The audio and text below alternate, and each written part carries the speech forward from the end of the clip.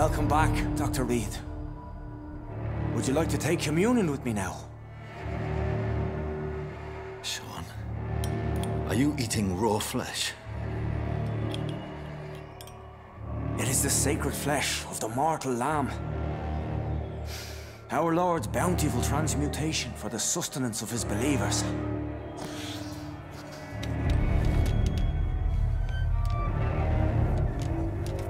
Thank you, Lord.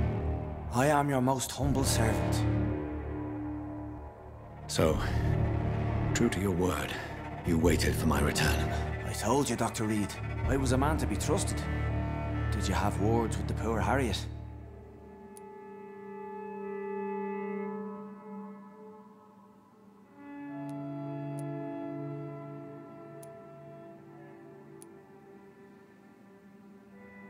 This shelter is the tip of the iceberg. You hide your game well, I'll give you that. Ah, we are God's children, Dr. Reid. One and all. And he's determined to save us.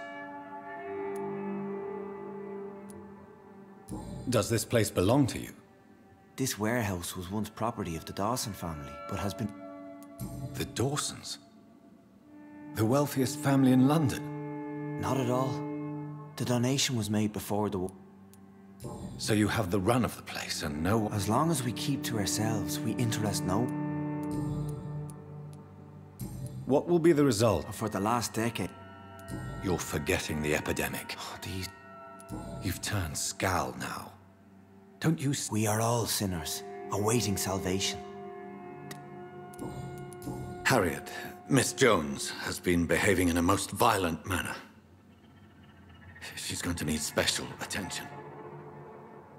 That's precisely the reason I brought her here. To meet old Bridget. She's the guide Harriet requires. Harriet is possessed by her hatred. You cannot let her roam free. She's dangerous. She has joined her own kind, Doctor. Old Bridget is a saint to the younger Skals, guiding them to salvation and peaceful existence. I believe I've learned all I need to know. I'm certain you've killed no one, but one day I believe you'll cross the line. Logic is a false prophet. Faith is the only path to salvation. What do you mean? We have been blessed with God's eternity. We are the instruments of His divine will. We shall feed the hungry forever and ever. Amen.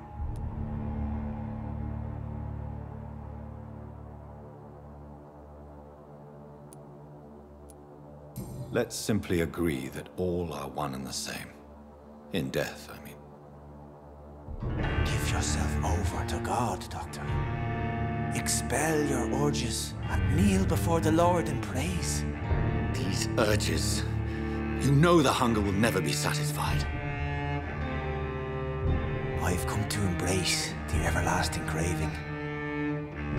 I have sworn to feed only upon the flesh of the dead. It is now my sacrament. Take, eat. This is my body. So saith the Lord.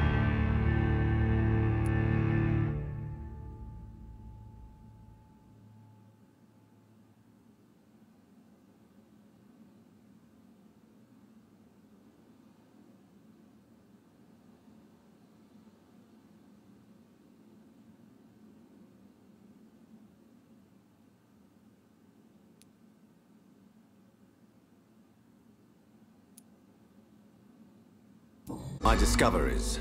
Vampire blood would enhance your metabolism, perhaps even heal you. If what old Bridget says is true, I'll give you some of mine. I, I'd rather not. It would be extremely awkward. You have no choice, Sean. It's the only way to protect your Cheptel, those still amongst the living. No, Dr. Reid. God made me this way. Who am I to disobey his will?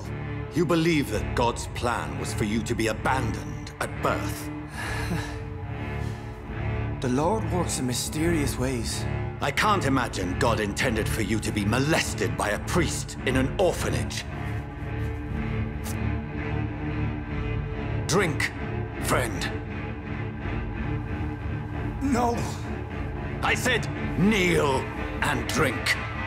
Now!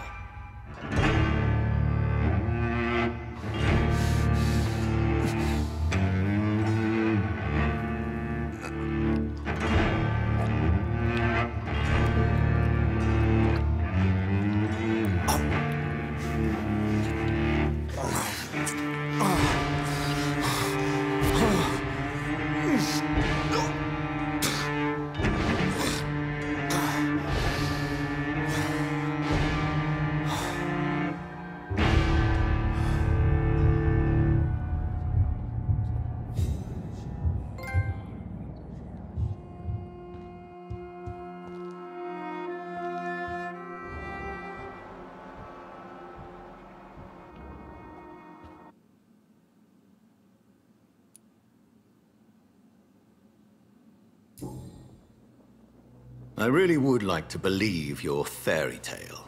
The good ghoul feeding upon the flesh of the dead. But I'm all out of innocence. Do you question my faith, Dr. Reid? Do you remember William?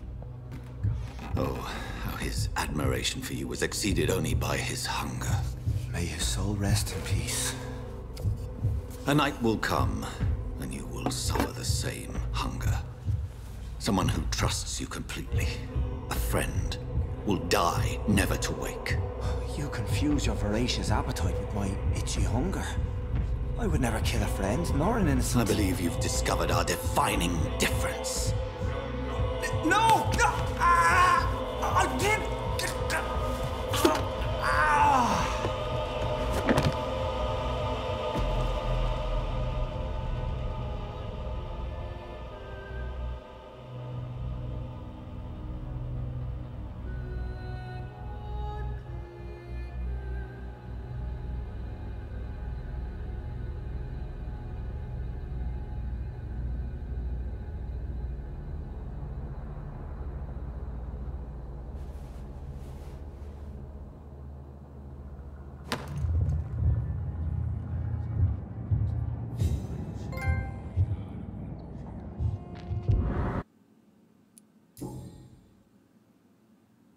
Believe you, Sean. In fact, I envy the peace you found, and will remember it. There is love and compassion in your heart. You only need to give it wings. Thank you for your kind words, Sean. Continue your noble efforts. You are a good man in bad times.